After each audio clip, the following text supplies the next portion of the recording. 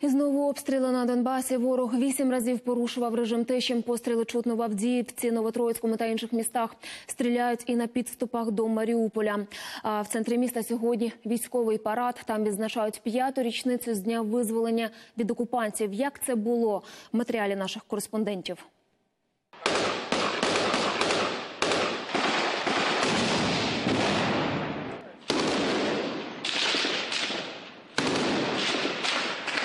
Ось так п'ять років тому починалося звільнення окупованого Маріуполя. Бій у центрі міста з бойовиками розв'язали бійці Азова, тоді ще батальйону. Сьогодні у роковини повернення в місто українського прапора тут свято.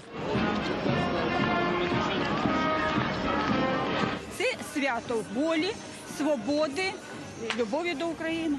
Врешті-решт. А ви кожен рік ходите на Так, так, ми волонтери ходимо, допомагаємо чим можемо нашій армії.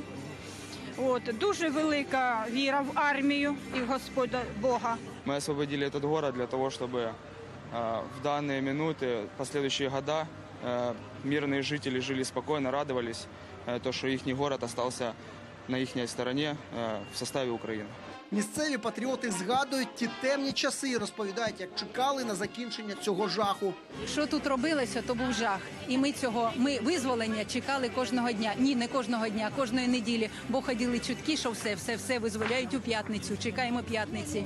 Нічого. Ні, знов чутки з вівторка у п'ятницю, у п'ятницю. І на кінець засяяв наш прапор. Слава Богу, що це здійснилося, що повиганяли цю всю гидоту. Ну а в центрі міста на радість місцевій малечі навіть пригнали бойову техніку.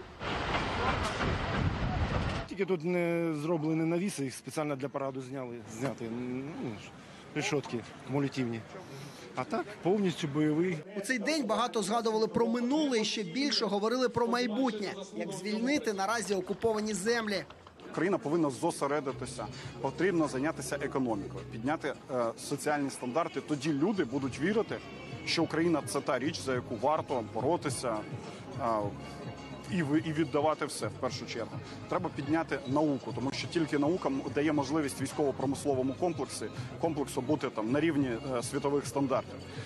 Піднявши це, зосередившись, створивши нову професійну армію, ми будемо мати вже варіанти в руках, як вирішувати це питання. З такими козирями ми зможемо можливо вирішити і дипломатичним шляхом, тому що тоді Росія буде розуміти, що ціна за продовження цієї війни занадто дорога для неї. А менше ніж за 20 кілометрів від фронтового і водночас мирного міста триває війна. Руслан Смещук, Геннадій Дівденко, Богдан Савруцький та Ігор Щепет. Подробиці телеканал Інтер.